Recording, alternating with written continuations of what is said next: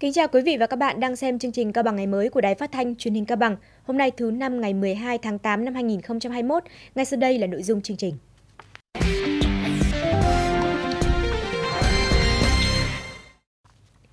Thực hiện kế hoạch đẩy nhanh tiêm vaccine phòng COVID-19, thành phố đã triển khai tiêm phòng tại các địa bàn ưu tiên, nơi tập trung đông dân cư.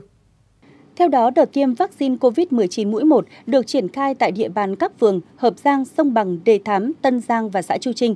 Đối tượng được tiêm đợt này là nhóm thuộc diện ưu tiên, là các nhà đầu tư, doanh nghiệp cung cấp các mặt hàng thiết yếu phục vụ sản xuất và đời sống, hộ kinh doanh các chợ trung tâm đô thị, trục đường giao thông, tuyến phố đông dân cư và những người có nguy cơ mắc dịch COVID-19 cao.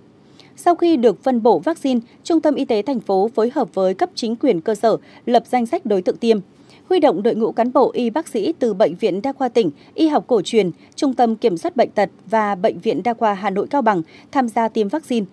Trong hai ngày đầu tiên đã triển khai tiêm được 3.135 liều vaccine Moderna và Pfizer mũi 1 và tiêm 591 liều vaccine AstraZeneca mũi 2 cho công nhân công ty cổ phần gang thép và công ty cổ phần khoáng sản và luyện kim Cao Bằng. Để triển khai hiệu quả tiêm vaccine tại các địa bàn, Trung tâm Y tế thành phố đã tuân thủ các quy định về tiếp nhận, bảo quản, phân phối, vận chuyển vaccine, giám sát và xử trí sự cố bất lợi sau tiêm chủng, quản lý bơm kim tiêm và rác thải y tế sau tiêm báo cáo hoạt động và kết quả tiêm chủng về Trung tâm Kiểm soát Bệnh tật để tổng hợp báo cáo Sở Y tế. Do đợt tiêm chủng vaccine phòng COVID-19 được tổ chức lưu động, thành phố đã chỉ đạo các lực lượng chức năng hỗ trợ tạo điều kiện cho nhân viên y tế tổ chức tiêm chủng vaccine thuận lợi, hướng dẫn người dân tiêm chủng đúng quy trình, thực hiện khai báo y tế, không tập trung đông người tại một thời điểm, theo dõi sức khỏe sau tiêm chủng. Đoàn công tác của Bộ Tư lệnh Quân khu 1 do Thiếu tướng Trần Văn Kình, Phó Tư lệnh Quân khu cùng các phòng chức năng Cục Kỹ thuật Quân khu đến kiểm tra công tác đảm bảo kỹ thuật cho diễn tập khu vực phòng thủ tại Tiểu đoàn 5, Trung đoàn 852, Ban Chỉ huy Quân sự huyện Hòa An, Ban Chỉ huy Quân sự thành phố, các đơn vị trực thuộc Bộ Chỉ huy Quân sự tỉnh. Trong thời gian qua, Bộ Chỉ huy Quân sự tỉnh đã chủ động xây dựng kế hoạch bảo đảm kỹ thuật cho diễn tập khu vực phòng thủ tỉnh – phối hợp với lực lượng thường xuyên bảo dưỡng, sửa chữa các thiết bị vũ khí, khí tài quân sự theo kế hoạch, nhất là các đơn vị tham gia diễn tập. Kết luận cuộc kiểm tra, Thiếu tướng Trần Văn Kình, Phó Tư lệnh Quân khu ghi nhận Đảng ủy Quân sự tỉnh đã tham mưu cho cấp ủy chính quyền địa phương chuẩn bị tốt cho công tác diễn tập phòng thủ. Trong đó làm tốt công tác bảo dưỡng khai thác thiết bị, kỹ thuật, vũ khí, khí tài quân sự. Qua kiểm tra cho thấy, công tác chuẩn bị kỹ thuật của Bộ Chỉ huy Quân sự tỉnh đã đủ điều kiện sẵn sàng bước vào diễn tập. Liên đoàn Lao động huyện Trùng Khánh tổ chức công bố quyết định thành lập Công đoàn cơ sở Công ty Cổ phần Đầu tư Thương mại và Du lịch Bản Dốc. Theo đó, Công đoàn cơ sở Công ty Cổ phần Đầu tư Thương mại và Du lịch Bản Dốc có 12 đoàn viên công đoàn, chỉ định 3 đồng chí tham gia vào Ban chấp hành lâm thời, đồng thời phân công trách nhiệm trong Ban chấp hành để tổ chức các hoạt động công đoàn theo đúng chức năng nhiệm vụ quyền hạn. Việc thành lập công đoàn cơ sở nhằm tạo điều kiện để đoàn viên tham gia sinh hoạt các phong trào thi đua, tổ chức bảo vệ quyền lợi chính đáng của người lao động. Lãnh đạo Liên đoàn Lao động tỉnh đề nghị Ban chấp hành công đoàn lâm thời phát huy vai trò trách nhiệm của mình, tuyên truyền vận động đoàn viên chấp hành tốt chủ trương của Đảng, chính sách, pháp luật của nhà nước, hăng say lao động sáng tạo nhằm không ngừng phát triển công ty, chăm lo đời sống vật chất tinh thần cho đoàn viên và người lao động, xây dựng tổ chức công đoàn ngày càng vững mạnh. Tại huyện Quảng Hòa, Đảng ủy chính quyền xã Đại Sơn vừa tổ chức hội nghị đối thoại với người chấp hành xong án phạt tù, trở về địa phương, án treo, tha tù có điều kiện, những người nghiện và nghi nghiện ma túy. Thông qua buổi đối thoại, những đối tượng đã phản ánh kiến nghị vấn đề khó khăn vướng mắc trong việc thực hiện công tác tái hòa nhập cộng đồng, mong muốn có việc làm ổn định. Đây là cơ sở để chính quyền xã có các giải pháp hỗ trợ việc làm cho người chấp hành xong án phạt tù trở về địa phương, án treo, tha tù, những người nghiện và nghi nghiện ma túy, hướng dẫn hỗ trợ người nghiện cai nghiện tại nhà, phát huy sức mạnh tổng hợp của cả hệ thống chính trị, các cơ quan doanh nghiệp, đơn vị và cá nhân có liên quan trong việc quản lý, giáo dục, giúp đỡ người chấp hành xong án phạt tù trở về địa phương, các đối tượng nghiện và nghi nghiện tái hòa nhập cộng đồng, ổn định cuộc sống.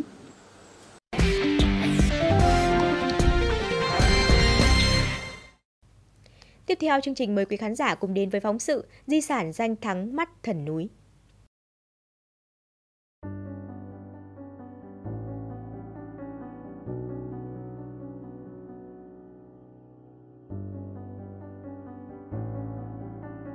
Theo thống kê của Sở Văn hóa Thể thao và Du lịch, đến nay toàn tỉnh có 214 di tích lịch sử, văn hóa, danh lam thắng cảnh.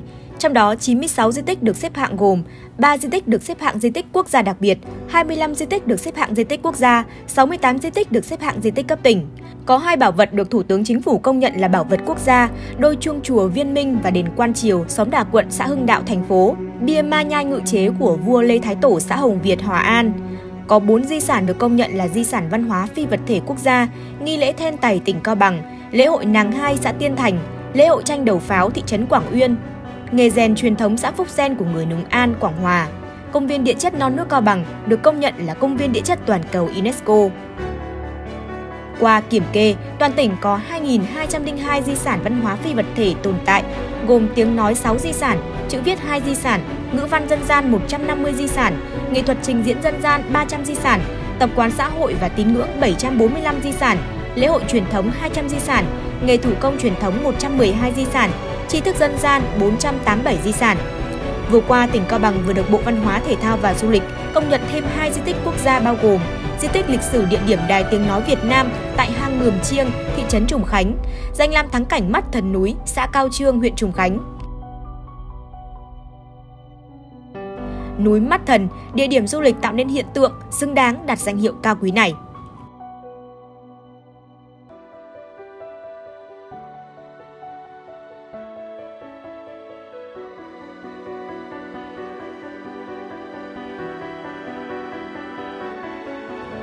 Trên đường vào mắt thần núi, du khách sẽ được tận hưởng khung cảnh làng quê gần gũi, yên bình đến tuyệt diệu tại bản người Tài nơi đây.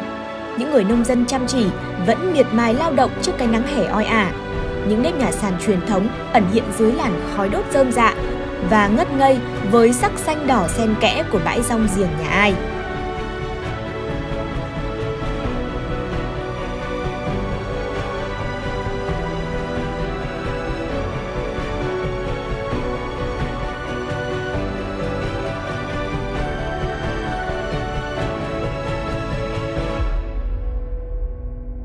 Núi Mắt Thần, cái tên gợi bao sự kỳ bí huyền ảo này, được đặt trong một ngọn núi nằm trong xã Cao Trương, huyện Trùng Khánh, tỉnh Cao Bằng. Ngọn núi này còn được gọi bằng một cái tên khác là núi thủng, do hình dạng bên ngoài của ngọn núi ở phía trên đỉnh có một hang thủng hình tròn tự như con mắt của núi với đường kính hơn 50 mét. Đây là ngọn núi độc nhất vô nhị ở Việt Nam. Núi Mắt Thần nằm gọn trong lòng thung lũng giữa quần thể Hồ Thang Hen của công viên địa chất non nước Cao Bằng, nơi có khung cảnh vô cùng quyến rũ với những bãi cỏ thảo nguyên mênh mông bên những hồ nước xanh bát ngát cả một vùng trời. Mắt Thần núi thực chất là cái tên được các nhà khoa học quốc tế ưu ái đặt cho ngọn núi này khi nghiên cứu hoàn thiện hồ sơ công viên địa chất toàn cầu non nước Cao Bằng. Căn cứ theo tài liệu chính thức đã được các chuyên gia hàng đầu của Viện Khoa học Địa chất và Khoáng sản Việt Nam cũng như sự thẩm định của các chuyên gia quốc tế. Núi Mắt Thần thật ra là một cái hang thủng hình tròn, đường kính hơn 50 m, nằm ở độ cao khoảng 50 m so với mặt hồ Thang Hen. Hang nằm ở độ cao như hiện nay là do vận động nâng trong giai đoạn tân kiến tạo. Hang phát triển trong địa hình đá vôi dạng tháp ở độ cao trung bình khoảng 700 m, bao gồm các núi dạng tháp và dạng nón, đan xen với hàng chục hồ nước lớn nhỏ. Theo tiếng địa phương của người Tây Bản xứ, ngọn núi có tên là Fearport, nghĩa là núi bị thủng một lỗ để gió lùa xuyên từ mặt bên này sang mặt bên kia. Kiệt tác của thiên nhiên được hình thành trong quá trình kiến tạo địa chất diễn ra hàng chục triệu năm là nét độc đáo hiếm có trong hệ thống núi đá vôi tại Việt Nam. Với cảnh đẹp thiên nhiên thơ mộng ấy, nơi đây đã trở thành một trong những điểm đến mới lạ được giới trẻ yêu thích trong thời gian gần đây và được yêu ái đặt cho cái tên tuyệt tình cốc trốn thâm sơn cùng cốc nhưng cảnh sắc đẹp tuyệt trần.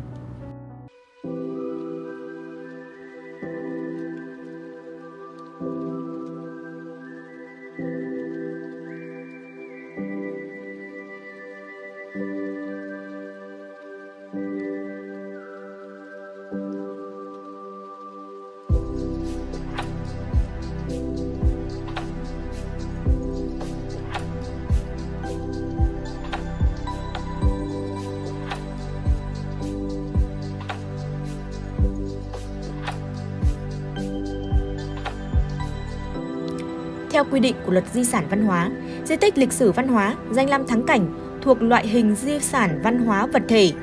Danh lam thắng cảnh là cảnh quan thiên nhiên hoặc địa điểm có sự kết hợp giữa cảnh quan thiên nhiên với công trình kiến trúc có giá trị lịch sử, thẩm mỹ, khoa học. Danh lam thắng cảnh phải có một trong các tiêu chí sau đây. Cảnh quan thiên nhiên hoặc địa điểm có sự kết hợp giữa cảnh quan thiên nhiên với công trình kiến trúc có giá trị thẩm mỹ tiêu biểu. Hoặc khu vực thiên nhiên có giá trị khoa học về địa chất, địa mạo, địa lý, đa dạng sinh học, hệ sinh thái đặc thù hoặc khu vực thiên nhiên chứa đựng những dấu tích vật thể về các giai đoạn phát triển của trái đất. Như vậy, danh thắng núi Mắt Thần của Cao Bằng đáp ứng đủ điều kiện thứ hai. Nằm trong quần thể hồ Thang Hen với hệ thống 36 hồ nước ngầm thông nhau đặc biệt có 102 trên thế giới, nơi đây còn chứa đựng nhiều giá trị địa chất lý thú khác, cụ thể như các hóa thạch cổ sinh, huệ biển, trùng thoi trong đá vôi hay các dấu ấn của hoạt động đất gãy. Chính điều đó đã đưa quần thể hồ Thang Hen, núi Mắt Thần trở thành một di sản địa chất tầm cỡ quốc tế.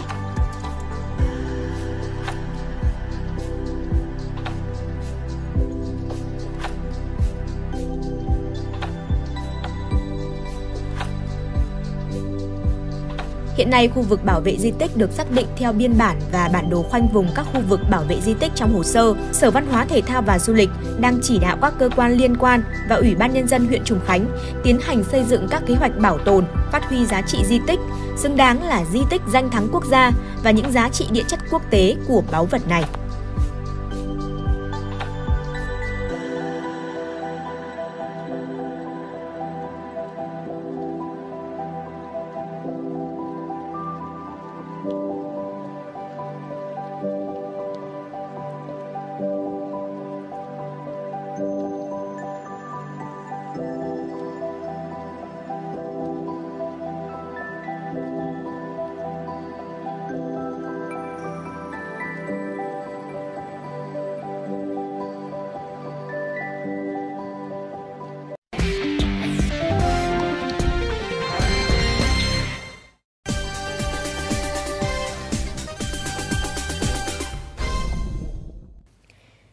Chuyển sang mục điểm báo. EVN Hà Nội cho biết tính đến hết tháng 7 đã giảm tiền điện gần 1.295 tỷ đồng. Theo ước tính, tổng số tiền điện giảm riêng trong đợt 4 này là khoảng 530 tỷ đồng.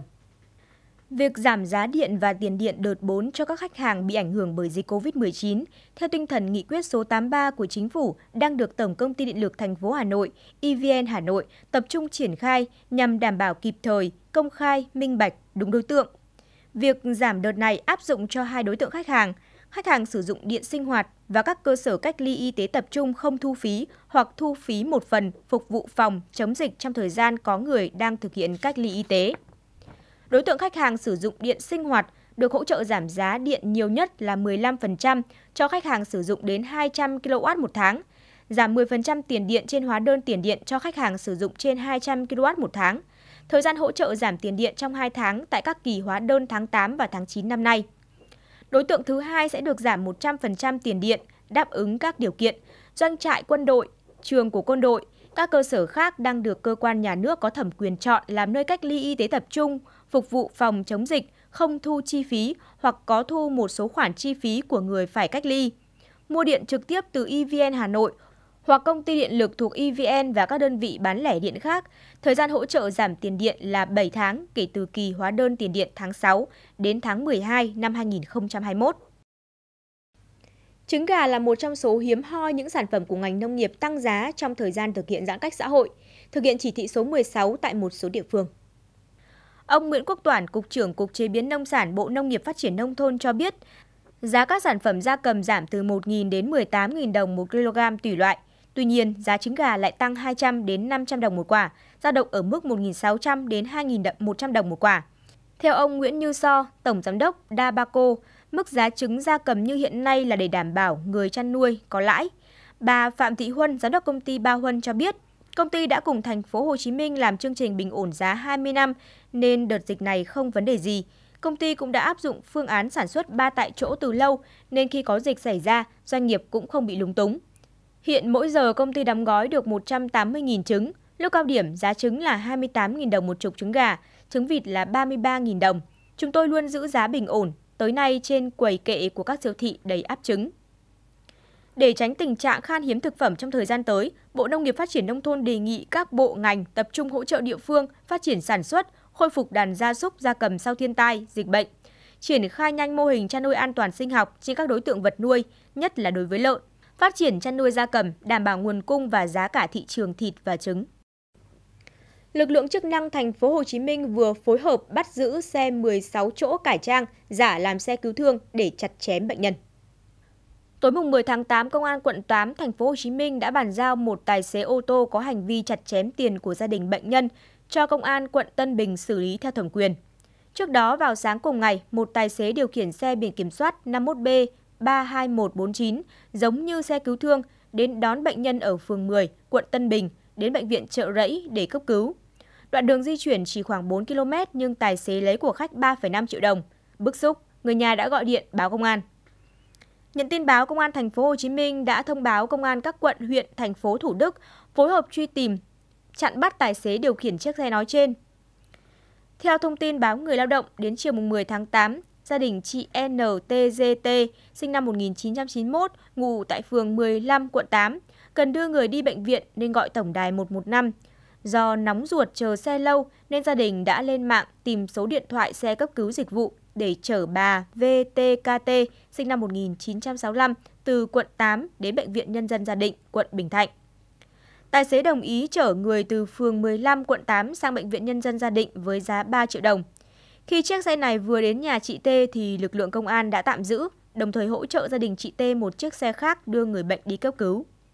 Theo xác minh ban đầu của các cơ quan chức năng, ô tô trên là xe 16 chỗ, tài xế đã thiết kế cải trang y hệt xe cứu thương và gắn biển kiểm soát giả để chặt chém bệnh nhân. Ngày 10 tháng 8, Ủy ban Nhân dân phường Thắng Tam, thành phố Vũng Tàu, Bà Rịa Vũng Tàu đang xác minh danh tính của 4 người có dấu hiệu say xỉn trên một ô tô khi ra đường, không có lý do, không xuất trình được giấy tờ. Trước đó khoảng 21 giờ 30 ngày 9 tháng 8, tổ công tác làm nhiệm vụ phòng chống dịch của phường Thắng Tam phát hiện xe ô tô biển số thành phố Hồ Chí Minh lưu thông nên yêu cầu dừng để kiểm tra. Lúc này trên xe có 3 nam và một nữ. Cả bốn người này đều không xuất trình được giấy tờ chứng minh lý do chính đáng ra đường vào thời điểm đó, đồng thời có dấu hiệu say xỉn. Lực lượng chức năng đã yêu cầu cả bốn người xuống xe để làm việc, người phụ nữ liền văng tục chửi lực lượng làm nhiệm vụ. Khi lực lượng chức năng ghi biên bản vụ việc, người đàn ông đi cùng gác chân lên ghế bên cạnh, kéo khẩu trang xuống hút thuốc, sau đó được yêu cầu đeo lại khẩu trang. Người đàn ông này liền nói, cao lắm bao nhiêu đây 50 triệu, làm gì nhiều. Lực lượng cảnh sát giao thông đã kiểm tra tài xế. Tại thời điểm đó, tài xế không xuất trình được giấy phép lái xe, giấy chứng nhận xe. Tài xế cũng có dấu hiệu sử dụng rượu bia, đo nồng độ cồn lên đến 0,737mg trên một lít khí thở. Lực lượng cảnh sát giao thông đã tạm giữ xe để xử lý theo quy định. Theo Ủy ban Nhân dân phường Thắng Tam, do cả bốn người này đều không mang theo giấy tờ tùy thân, nên lực lượng chức năng đang tiếp tục xác minh danh tính và sẽ xử lý theo quy định. Đường dây số đề với số tiền giao dịch khoảng 1 tỷ đồng một ngày do một phụ nữ 28 tuổi cầm đầu vừa bị cơ quan công an Đắk lắc triệt xóa. Đường dây này do đối tượng Bùi Thị Bích Trâm sinh năm 1993, ngụ tại thị trấn Buôn Chấp, huyện Krông Anna cầm đầu. Theo điều tra, từ giữa năm 2020, Trâm cùng đồng phạm đã tổ chức vận hành đường dây ghi số đề với phương thức hoạt động tinh vi, kín đáo.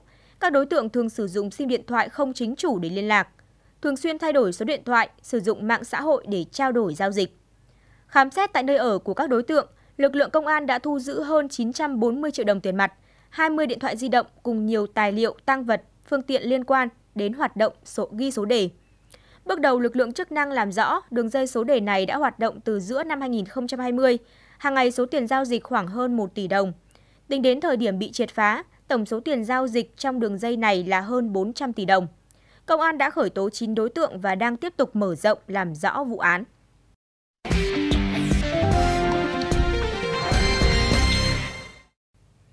Ủy ban nhân dân thành phố Hồ Chí Minh đang đẩy nhanh tiến độ với mục tiêu giữa năm sau ký khoản vay mới hơn 249 triệu đô la Mỹ, khoảng 5.700 tỷ đồng, sớm triển khai dự án Metro số 2. Đây là con số chúng tôi đề cập trong mục con số hôm nay. Nội dung nêu trong báo cáo tình hình triển khai vốn ODA từ chính phủ Đức cho tuyến Metro số 2 đoạn Bến Thành Tham Lương vừa được Ủy ban nhân dân thành phố Hồ Chí Minh gửi Bộ Kế hoạch và Đầu tư. Đây là dự án duy nhất tại thành phố dùng vốn ODA từ Đức thông qua ngân hàng tái thiết Đức Phần vốn tài trợ này dùng cho gói thầu tư vấn kiểm soát thực hiện dự án và giám sát thi công, tư vấn đánh giá, chứng nhận an toàn hệ thống và các gói thầu mua sắm thiết bị tại dự án. Dự án Metro số 2 có tổng mức đầu tư khoảng 2,1 tỷ đô la Mỹ, tức là gần 47.900 tỷ đồng. Ngân hàng tái thiết Đức cùng hai ngân hàng phát triển châu Á, Ngân hàng đầu tư châu Âu tài trợ cho dự án gần 37.500 tỷ đồng, còn lại hơn 10.400 tỷ đồng là vốn đối ứng từ phía Việt Nam. Công trình dự kiến khởi công năm 2022, hoàn thành năm 2026.